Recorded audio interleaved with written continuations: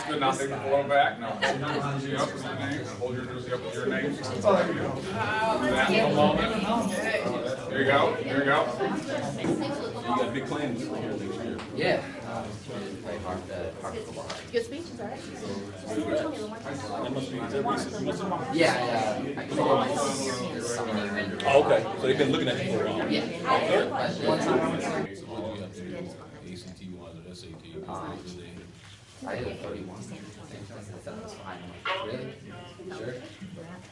They said that was good enough. You yeah. made, you got thirty-one? Oh, wow. They said that was better than the, the players they have right now.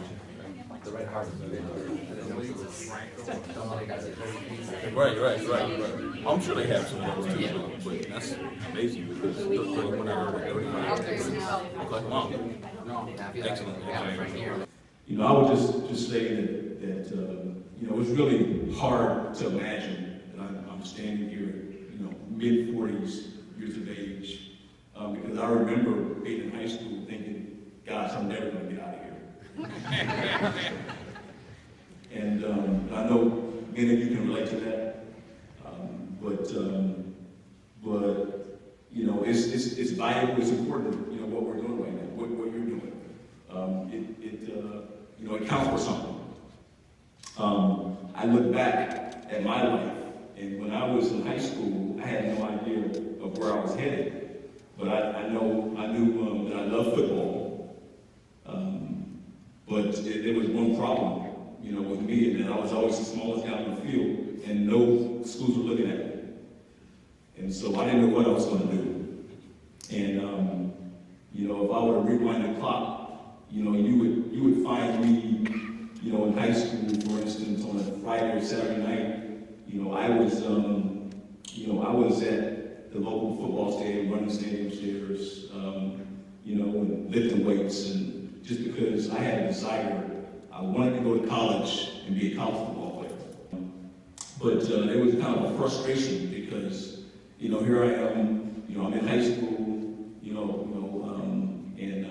some of my coaches think I'm a little too small and not tough enough, and uh, and so, you know, I had a little bit of a dilemma. And so, but it was a great lesson because, and it was something I really learned from my dad is that, you know, learning how to work hard. So, sometimes it's just the thought of it that that's more that's worse than actual, actual work itself. Because if, if you learn how to work hard, it'll make life so much easier. It's my honor to introduce to you the finalists of the U.S. Army Pro Football Hall of Fame Award of Excellence, Jake Barann.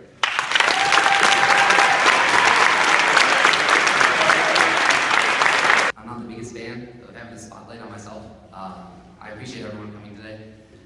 Uh, I'd like to thank God for his many blessings in my life. Um, next, I'd like to thank all of my coaches, teachers, and mentors here at Allen Park High School, uh, many who are here today, um, who've provided me with uh, an environment in which I was free to succeed based on my own volition. Uh, also, I'd like to thank my family uh, for being here, and specifically my parents for supporting me throughout the years in all my academic and athletic pursuits, between nervous breakdowns over bad papers or dirty laundry after football practice. Um, next, I'd like to thank my teammates. It's truly a humbling experience for me. Uh, this recognition embodies all the attributes that I aspire to achieve. Um, while I worked hard throughout my high school career, um, I realized that none of it would have been possible without the support that I received from everyone around me in this community. And uh, I pushed myself to be the best that I can be.